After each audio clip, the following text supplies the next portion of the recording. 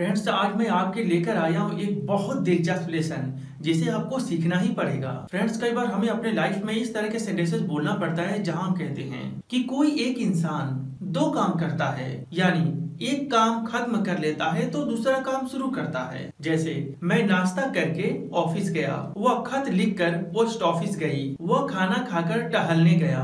तो फ्रेंड्स, आपने देखा कि यहाँ सब्जेक्ट एक है, लेकिन वो दो काम कर रहा है और एक काम खत्म करने के बाद दूसरा काम कर रहा है। तो आइए फ्रेंड, देखिए कि इस तरह के सेंटेंसेस को कैसे बोलना है। फ्रेंड्स, अगर आप मेरे चैनल पर नए हैं तो चैनल को सब्सक्राइब करें, बेल आइकन को हिट करें ताकि मेरा लेटेस्ट वीडियो आप तक सबसे पहले पहुँच सके। तो आइए फ्रेंड्स, इस लेसन की शुरुआत करते हैं।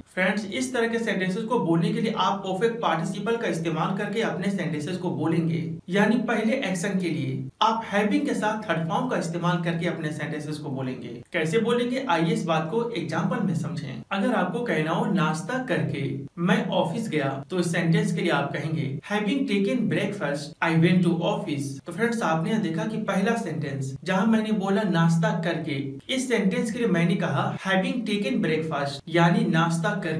तो इस तरह के सेंटेंसेस को बोलने के लिए आप हैविंग थर्ड फॉर्म की मदद से बोलेंगे। जैसे लेटर लिखकर वह पोस्ट ऑफ़िस गई। तो इस सेंटेंस के लिए आप कहेंगे having written a letter she went to post office खाना खाकर हम लोग टहलने गए। तो इस सेंटेंस के लिए आप कहेंगे having eaten dinner we went for a walk यानी खाना खाकर हम लोग टहलने गए। शेर को मारकर वह घर ले गया। तो इस सेंटेंस के लिए आप कहेंगे having killed a lion he carried it home यानी शेर को मारकर वो घर ले गया। इस सेंटेंस में सब्जेक्ट एक है, जो दो काम किया, शेर को मारा और उसको घर लेकर गया। मैं अपना होमवर्क करके सो गया।